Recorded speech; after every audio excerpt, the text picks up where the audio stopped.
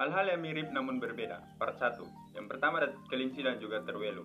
Terwelu adalah hewan yang mirip sekali dengan kelinci dan dia hidup di Eropa.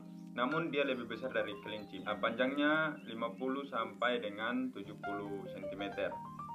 Dan telinganya, panjang telinganya lebih panjang daripada telinga kelinci. Terus juga uh, kaki belakang terwelu itu lebih besar, lebih kuat.